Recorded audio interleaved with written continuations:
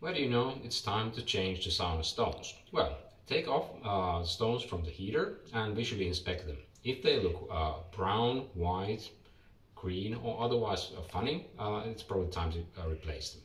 The other test, knock them together.